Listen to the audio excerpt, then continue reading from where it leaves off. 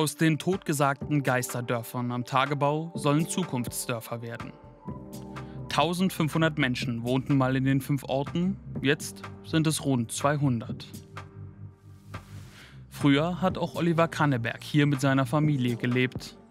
Dann das Haus an RWE verkauft. Er will zurück, jetzt wo die Dörfer stehen bleiben. Ob er das kann, hängt von der Leitentscheidung der Landesregierung ab. Am Freitag stellt die Wirtschaftsministerin die im Landtag vor. Diese Leitentscheidung, die die Landesregierung dem Landtag nun vorlegt, markiert einen historischen Punkt. Wir stellen heute nach mehr als 170 Jahren Braunkohleförderung die letzte Leitentscheidung des rheinischen Braunkohlereviers vor. Auf das Grundstück seines alten Hauses darf Oliver Kanneberg nach dem Verkauf nicht mehr. Jetzt, wo seine alte Heimat nicht abgebaggert wird, will er Haus und Garten zurückkaufen. Schon im März waren wir bei einer Bürgerbeteiligung zur Leitentscheidung. Kanneberg wünschte sich von der Ministerin klare Vorgaben, wie er sein Haus zurückbekommen kann. Damals sagte er uns, Jetzt ist das toll, das ist ein gutes Gefühl. Ja, und es sieht gut aus, es ist top in Schuss. Man könnte es sofort wieder beleben. Und jetzt? Wird das was, wo die Leitentscheidung endlich da ist? Die Ernüchterung ist groß. Die Ernüchterung ist sehr groß, muss ich ehrlich sagen. Ähm, also für, für die sogenannte Vorkaufsoption für ehemalige Bewohner ähm, ja, ist das ein Schlag ins Wasser. Da muss man ganz, das muss man ganz klar ungefiltert auch sagen dass äh, die zwei Parameter, die jetzt da eingeflossen sind, ähm, sicherlich niemanden ähm, dazu bewegen, zurückzukehren. Was er meint? Ehemalige Eigentümer bekommen eine Option, nicht per se das Recht zurückzukaufen. Wie teuer es wird, weiß niemand. Und sie müssen selbst wieder einziehen. Vermieten dürfen sie ihr altes Haus also nicht. Richtig viel mehr weiß auch der Erkelenzer Bürgermeister durch die Leitentscheidung nicht. Nur, dass es den Rückkauf geben kann. Das ist gut so. Aber welche Konditionen? Da hätten wir uns gern noch mehr Klarheit gewünscht. Deshalb müssen jetzt auch zeitnah Gespräche geführt werden, weil diese Fragen laufen bei uns auf. Denn Klarheit haben sie nicht. Auch nicht die Erkelenzer, die jahrzehntelang mit dem Tagebau gelebt haben und wissen, dass einige Dörfer nun doch bleiben. Aber was soll jetzt daraus werden? Wenn ich mir vorstelle, ich habe da jahrelang gelebt in einer intakten Dorfgemeinschaft und darf jetzt wieder zurück und sehe das Dorf, wie es da quasi verwildert ist.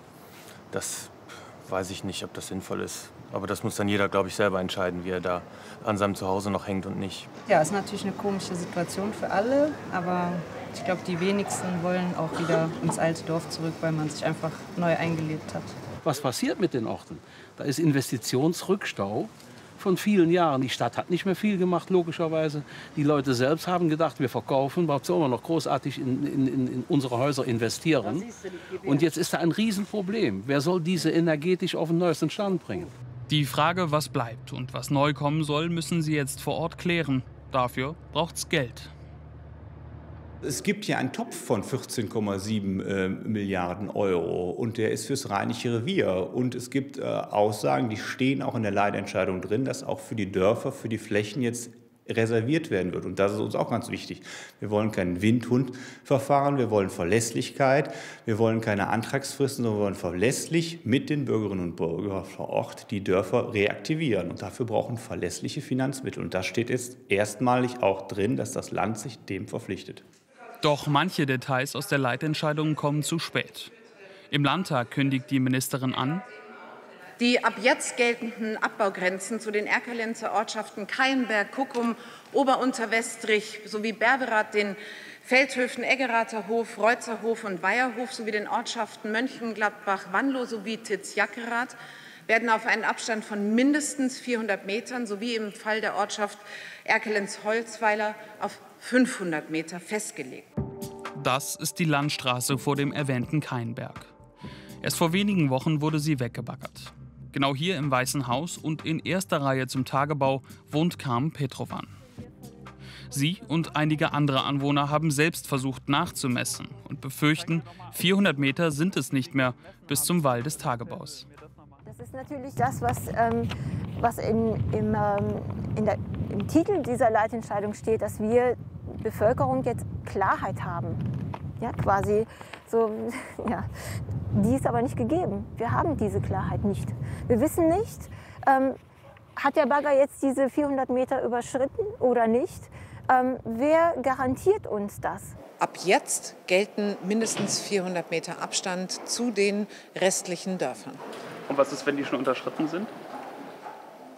Dann ist das ein Faktum, äh, was tatsächlich auch vorliegt in Keinberg. Da ist bereits in äh, vorvergangener Zeit eine äh, Distanz von 355 Metern. Das ist das, was auch bekannt war unter der letzten Leitentscheidung.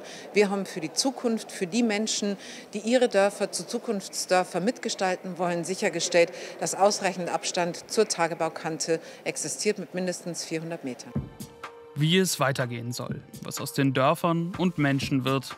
Vielen in der Region ist das nach der Leitentscheidung ähnlich unklar wie vorher.